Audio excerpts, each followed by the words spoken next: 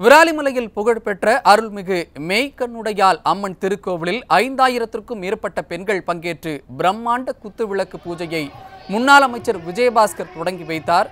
கூடுதல் தகவல்களை நமது செய்தியாளர் ரஞ்சித் வழங்க கேட்கலாம். வணக்கம் ரஞ்சித் விவரங்கள்.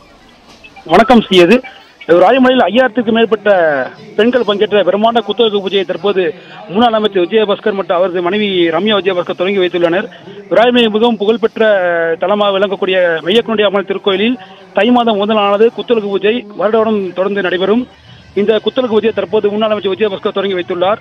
அது மட்டுமில்லாமல் புதுக்கோட்டை மாவட்டம் ராஜமலை பொறுத்தவரை புகழ்பெற்ற தலமாக விளங்கக்கூடிய முருகன் ஆலயம் மற்றும் மெய்யக்குண்ட ஆலயம். இந்த மெய்யக்குண்ட ஆலயத்தில் வந்து தை மாதம் வரவிருப்பை முன்னிட்டு ஐயாயிரத்துக்கு மேற்பட்ட பெண்கள் குத்துலகு பூஜையில் எப்போதும் வருட வருடம் கலந்து கொண்டு சிறு சிறப்பு செய்வார்கள். அதே போல இந்த வருடமும் ஐயாயிரத்துக்கு மேற்பட்ட பெண்கள் ஒரே நேரத்தில் குத்து விளக்கு ஏற்றி சிறப்பு வழிபாடு ஈடுபட்டனர். அது மட்டுமல்லாமல் ராஜமலையில் அமைந்துள்ள இந்த கோயிலானது முதல் நாள் பூஜையில் குத்துவிளக்கு ஏற்றி வழிபட்ட இந்த பூஜையில் பார்த்தீங்கன்னா மாங்கல்ய பூஜை கோ பூஜை மற்றும் இந்த மேலும் நல்ல மழை பெய்து வேளாண்மை செழிக்கவும் நோய் நொடியின்றி மக்களாலும் சிறப்பு பிரார்த்தனையும் செய்யப்பட்டது.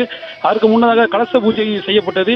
இந்த பூஜையில் ஐயாயிரத்துக்கு மேற்பட்ட பெண்கள் கலந்து கொண்டனர். அது மட்டும் இல்லாமல் முன்னாள் அமைச்சர் விஜயபாஸ்கர் இந்த இதுக்கு சிறப்பு விருந்தினராக கலந்து கொண்டு அனைவருக்கும் பிரசாத பையை வழங்கினார்கள். அது மட்டுமல்ல இந்த இந்த குத்துவிளக்கு பூஜையில் முன்னாள் அமைச்சர் விஜயபாஸ்கர் மற்றும் அவரது மனைவியார் ரம்யா விஜயபாஸ்கர் இருவரும் கலந்து கொண்டு சிறப்பித்தனர். செய்யது விவரங்களை வழங்கியமைக்கு நன்றி ரஞ்சித்.